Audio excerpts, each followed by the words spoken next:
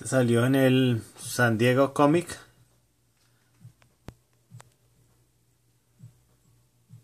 Está un poco grande.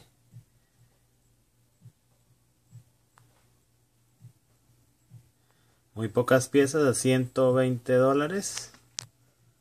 Esto es elaborado por el artista Fer Leggy. Gatico viene contramarcado.